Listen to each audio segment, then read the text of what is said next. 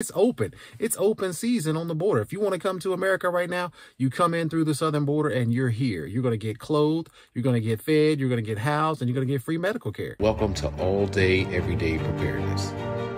I tell you, this migrant crisis, guys, is something else. I mean, people are just flooding in, spilling in, running in across the border. I mean, it is getting out of hand, guys. We just can't keep this up any longer. I mean, it's just it just doesn't make sense, guys. I was reading a report, but the official numbers is something like 5,000 people a day crossing over. That's 35,000 people per week. If you want to do that for for the year, guys, that's over or that's almost 2 million people crossing into the country illegally or you might as well call it legally. I mean, you might as well call it legally.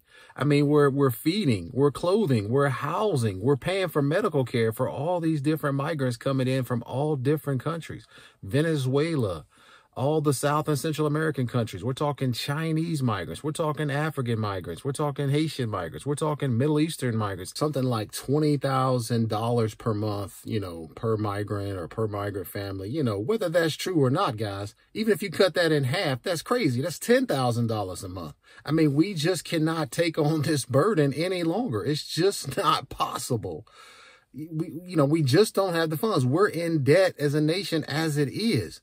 And I, I saw another report, guys, something like $561 billion with a B to take care of the migrants every year as they just keep spilling in and spilling in across the border, guys. We don't have that kind of money. We don't have 561 extra billion dollars. Well, actually, we do because we just printed out of thin air. Or on the back end, we raise the taxes for you and I, the taxpayer.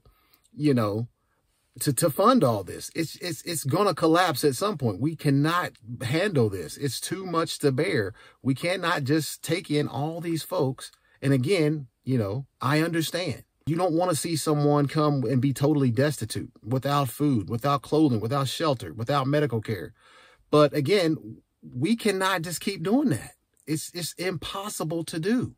We cannot take on every other country's people and just allow them to come into this country. It's just not going to work.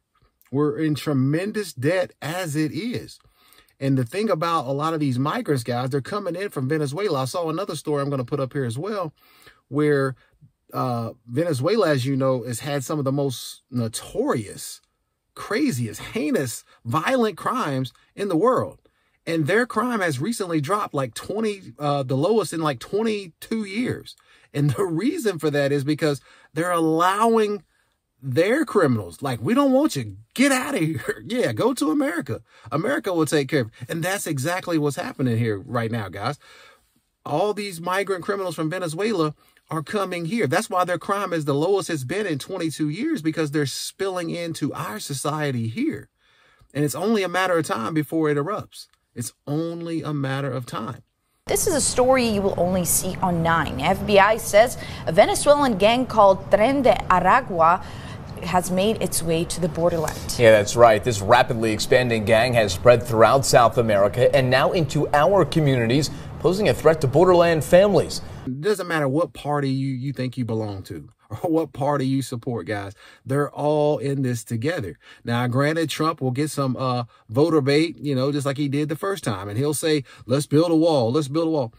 And maybe he really wants to build a wall, but he knows that's not going to happen because he's not going to get the cooperation. So I'll give him the benefit. Let's say he really does want to build a wall.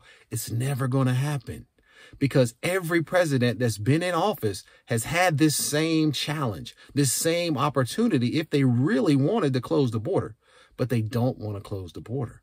And now, as you see, guys, they're just spilling in, flooding in by the day, thousands per day, 460 almost billion dollars is the price tag to house and clothe and feed all these migrants. We just can't do it anymore.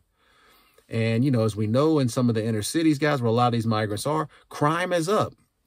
We're talking military age males flooding into the country, especially military age men that have no families, that have no children, coming from a situation where their country was in shambles.